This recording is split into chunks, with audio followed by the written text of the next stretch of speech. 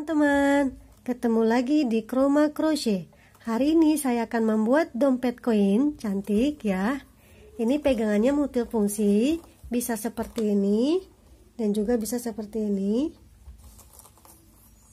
Pindah ke sini. Ya. Saya menggunakan benang polyester D27 dan untuk badan tasnya saya menggunakan double helai dan hakpennya menggunakan 3,5 mm ya. Dan untuk talinya dan bunganya saya menggunakan cuman satu helai benang dan hakpennya saya menggunakan 4 garing 0 ya. Yang kecil itu ya. Kemudian nih hakpennya 4 garing 0 dan ini dompet koin tidak cukup untuk HP ini tebal ya. Dalamnya seperti ini Untuk besarnya, panjangnya 2,5 cm, tingginya 9 cm, dan untuk lebarnya 5 cm. Dan jangan lupa teman-teman untuk like, comment, share, dan juga subscribe bagi yang belum subscribe. Dan bagaimana cara membuatnya, silahkan disimak videonya ya. Untuk project tas ini, saya menggunakan dua helai benang, benang polyester D27 ya dan hak pennya saya menggunakan 3,5 sini. Yuk kita mulai. Pertama kita buat slip knot. Ini kita buat alas dulu ya. Di sini tidak ada kelipatan. Kemudian saya membuat 17 rantai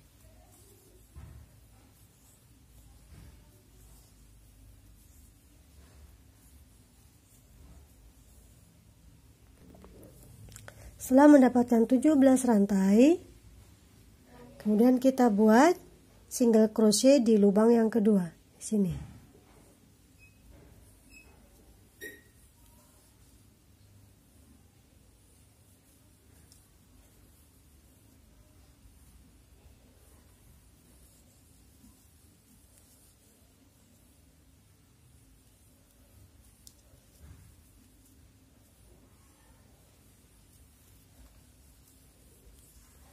kerjakan sampai sini. Ini udah sampai ujung. Kemudian nambah satu rantai. Kita putar. Di sini kita buat single crochet di back loop ya. Kan biasanya di sini. Kita buat di sini. Ya single crochet back loop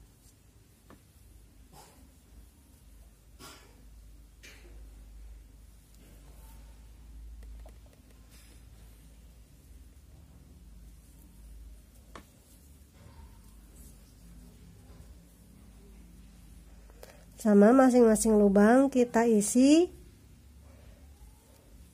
Satu single crochet back loop ini row kedua ya. Kita kerjakan sampai ujung. Ini row yang kedua udah selesai sampai ujung. Untuk row yang ketiga satu rantai kita putar. Kita akan mengerjakannya di dua loop yang atas dan yang bawah ya. Ini berarti yang front yang ini BLO ya. Yang di depan dan yang di belakang. Berarti ini kita mengerjakan di dua loop. Loop yang atas dan loop yang bawah. Seperti ini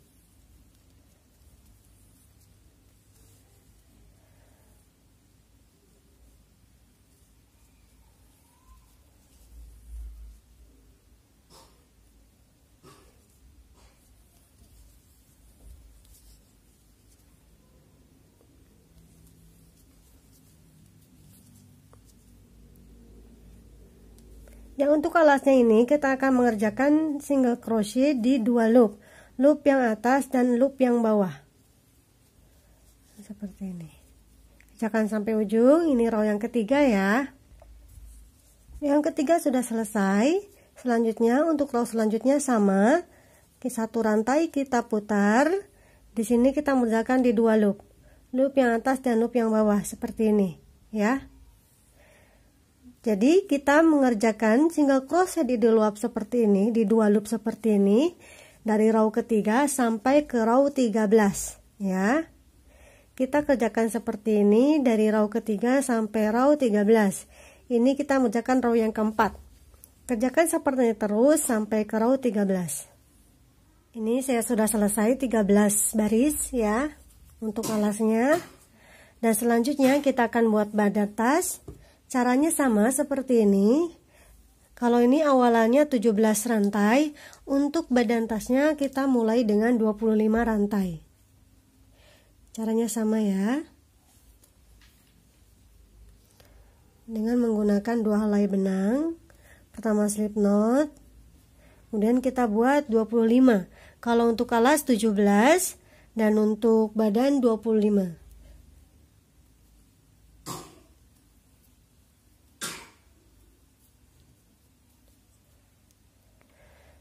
Setelah 25 rantai, kita buat single crochet di lubang yang kedua ya. Lubang pertama, lubang kedua sini.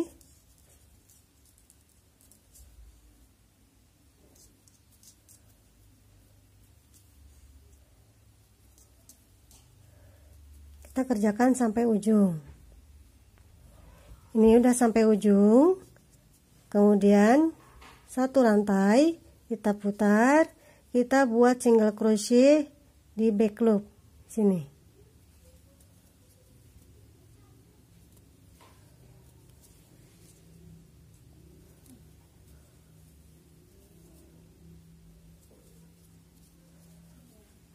Ini row yang kedua ya.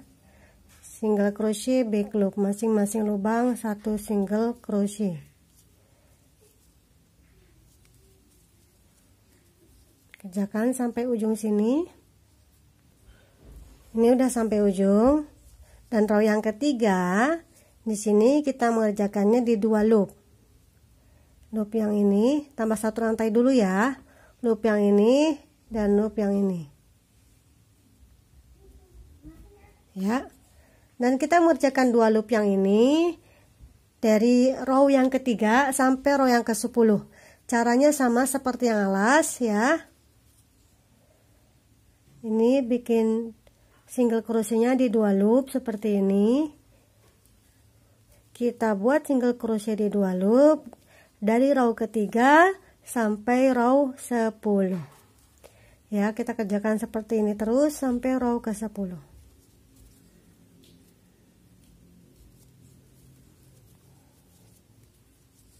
ini udah 10 baris ya. Kemudian di baris yang ke 11 akan ada pengurangan di ujung sini dan di ujung sini. Satu rantai kita putar. Pengurangannya.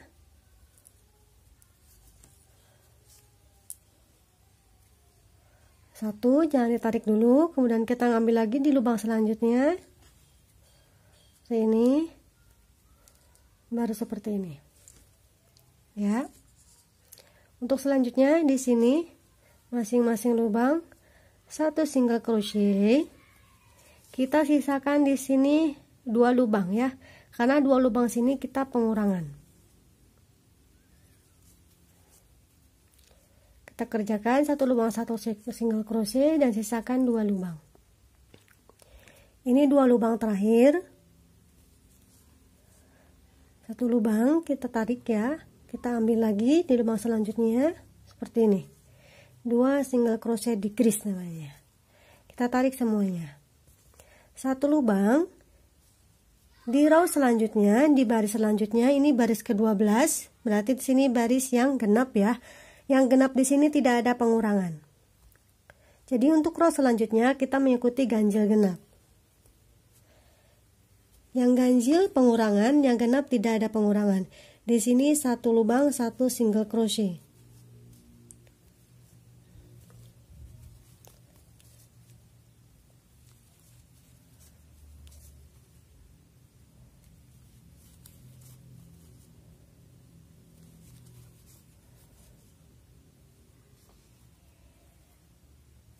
kerjakan sampai sini ya sampai ujung ini sudah sampai ujung ya di row yang ke-12 ini di row yang genap ini tidak ada pengurangan. Di row selanjutnya row yang ke-13, di sini ada pengurangan ya karena dia ganjil. Sama cara pengurangannya seperti tadi.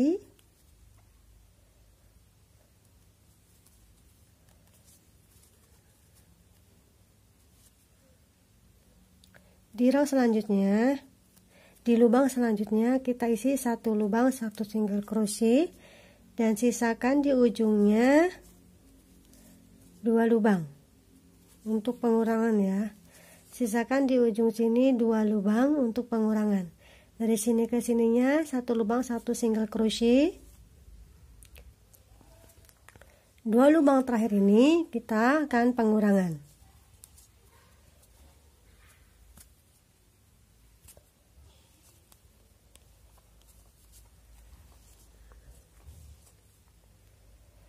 Selanjutnya, row ke-14. Row ke-14 di sini tidak ada pengurangan ya. Jadi kita di sini satu rantai kita putar, di sini satu lubang satu single crochet. Tidak ada pengurangan. Kita mengikuti pola seperti ini terus ya. Yang genap dan yang ganjil. Kalau ganjil itu ada pengurangan. Ini seperti ini pengurangan ya. Di ujungnya pengurangan satu kali, dua single crochet decrease di ujungnya pengurangan dua kali dua single crochet decrease satu kali satu kali di sini ya. Dan untuk yang genapnya yang genap di situ tidak ada pengurangan. Satu lubang satu single crochet. Seperti terus sampai mendapatkan baris yang ke 21 lalu kita kerjakan dulu. Ini saya sudah sampai baris ke 21 terakhirnya di sini decrease decrease ya. Dan di tengahnya 10 single crochet. Kemudian di sini kita akan buat satu rantai kemudian kita putar di sini kita slip stitch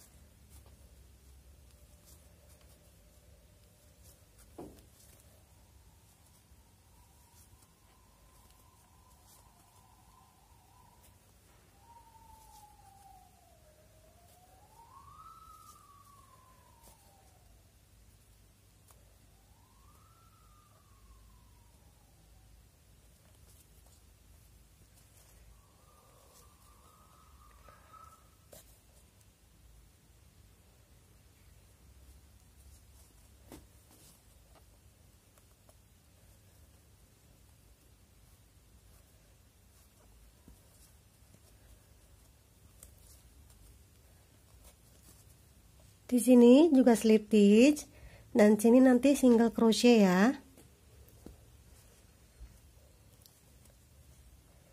Slip stitchnya di setiap ini saja, slip stitch, slip stitch. Setiap sini. Supaya hasilnya cekung.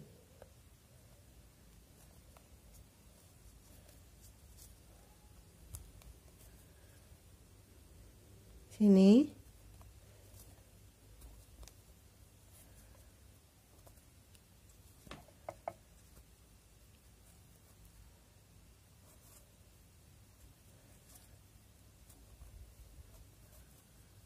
Sini.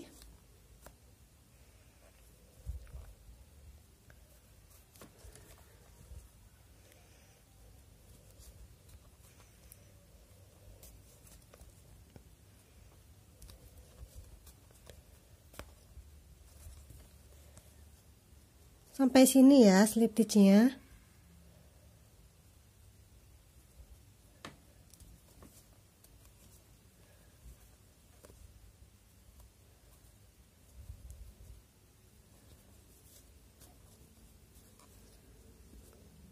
Sudah sampai ujung sini, di sini kita buat single crochet.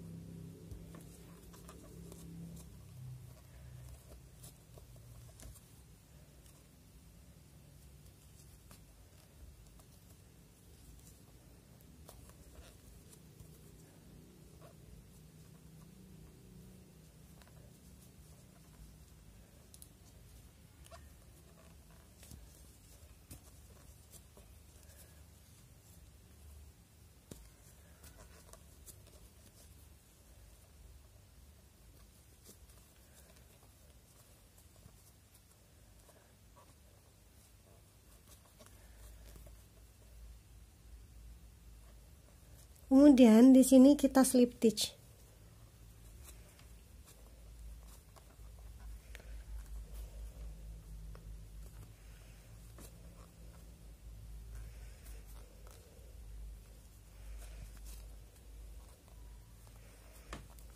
Slip stitch di sini kerjakan sampai sini ya. Ini slip stitch sudah sampai ujung ya. Kemudian kita akan buat single crochet di sini.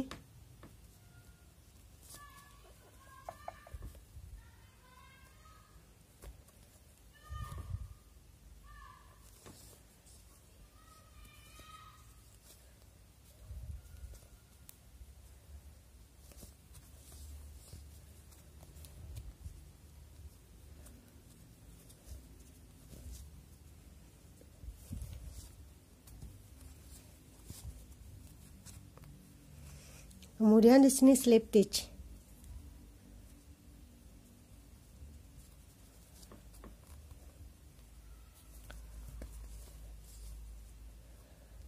Sini, di sini, di sini, di sini, di sini, ya, lihat di sini. Kita buat itu sampai sini. Ini udah selesai, jadinya seperti ini. Dan saya sudah buat dua, ya. Dan ini alasnya kemudian kita akan menggabungkan. Caranya seperti ini. Kita jahit dari sini ke sini ya. Tengah dan ini nanti ketemu tengah juga. Seperti ini. Kita beri penanda dulu. Ini sudah diberi penanda semua. Kemudian akan menjahit. Ya. Pertama kita masukkan dulu ke sini supaya tidak terlihat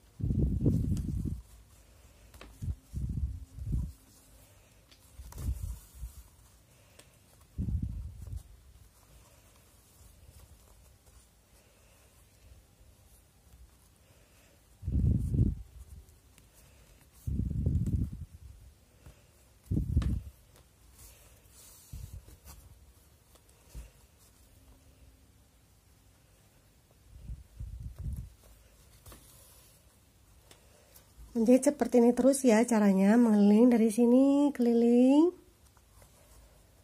Ini jangan lupa juga untuk dijahit sampai sini ya. Kita kerjakan dulu. Ini sudah selesai. Dan ini juga saya sudah memasang ring D ring D yang kecil ya. Ukurannya 1 cm ini juga sudah. Tinggal dijahit biasa saja. Kemudian kita akan pasang sleting seperti ini pasangnya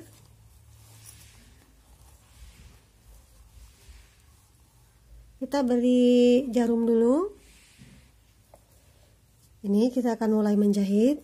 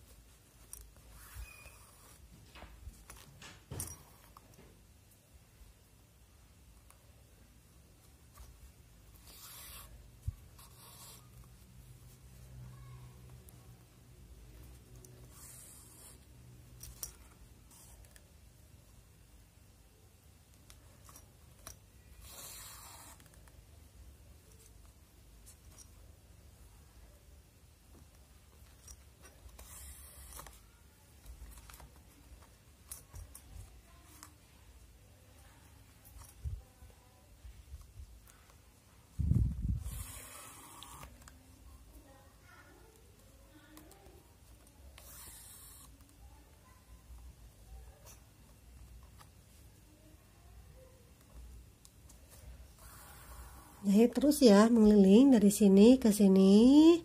Sampai ujung sini kita putar lagi ketemu di sini. Ya kita jahit dulu dengan rapi. Ini resletingnya sudah selesai. Dan saya sudah memakai memasang bunga ya. Dan ditempelnya ini dengan lem tembak lem lilin. Atau boleh dijahit. Dan bagaimana cara membuat bunga pup ini? Nah, saya sudah menaruh link video di kolom deskripsi. Silahkan dilihat bagaimana cara membuatnya. Silahkan dibuka kolom deskripsinya. Di sana ada link video cara atau tutorial cara membuat bunga pup seperti ini ya. Selanjutnya kita akan buat apa e, talinya. Ini kita sisakan segini ya untuk memasang ke ring ke ring apa ke kaitnya Kemudian, dan ini saya menggunakan hakpennya 4 garing 0. Pertama kita buat slip knot. Kemudian dua rantai. Nah, kita buat single crochet di lubang yang kedua dari rantai 1 2 di sini. Kemudian di kita balik, kita putar. Di sini ada satu loop. Kita buat single crochet di sini.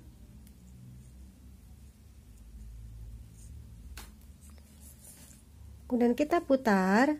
Di sini ada dua loop ya. Kita buat single crochet di sini.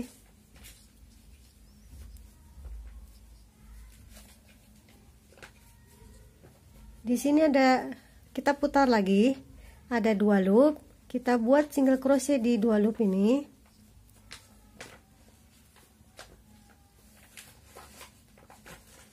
Kita putar lagi. Di sini ada dua loop ya satu dua. Kita buat single crochet di sini. Seperti itu terus ya untuk membuat talinya.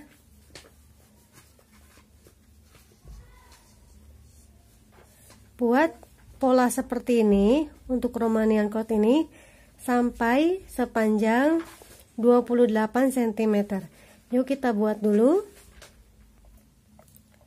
Ini saya sudah selesai mendapatkan 28 cm ya kemudian kita akan memasangkannya ke kait. Ya kaitnya seperti ini. Menggunakan jarum tapestry ya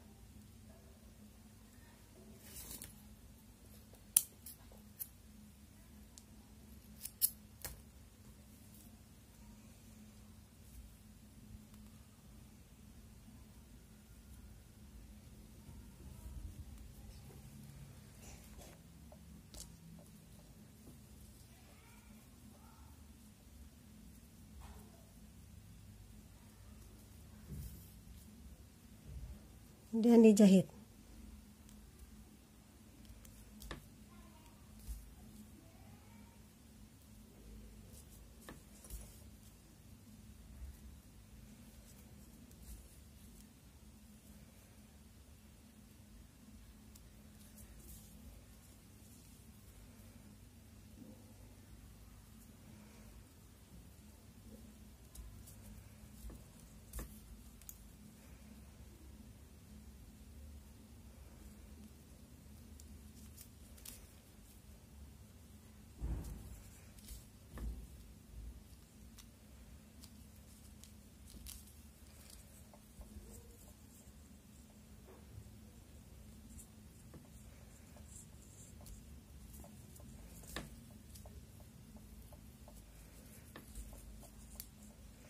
ini udah kuat ya.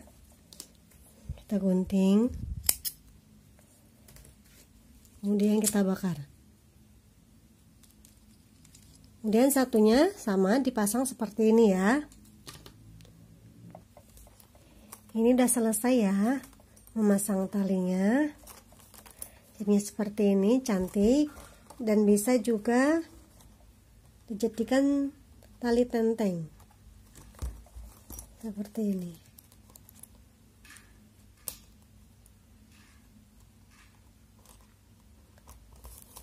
Bisa seperti ini ya. Mungkin cukup sekian video hari ini. Semoga bermanfaat dan terima kasih. Bye